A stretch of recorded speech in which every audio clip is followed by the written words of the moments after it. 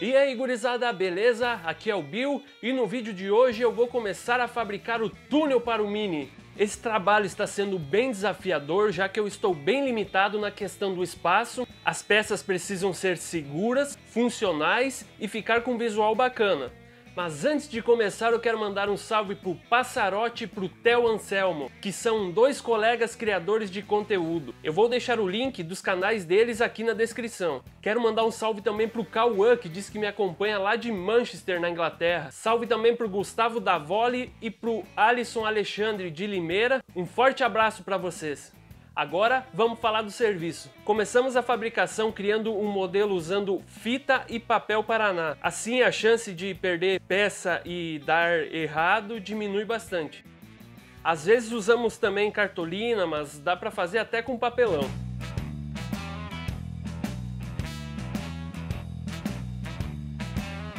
Depois do modelo feito, alterado e aprovado, começamos a fabricação em chapas de aço carbono de 3 mm de espessura. Isso mesmo, 3 mm de espessura. Como eu falei lá no começo, a peça precisa ser segura. Como é um carro de performance, precisa ser bastante resistente. O piloto vai ficar com a transmissão e o mini cardan praticamente na mesma linha das pernas. Caso ocorra alguma quebra, a chapa do túnel precisa ser resistente o suficiente para aguentar qualquer impacto de alguma peça que pode soltar em alta rotação.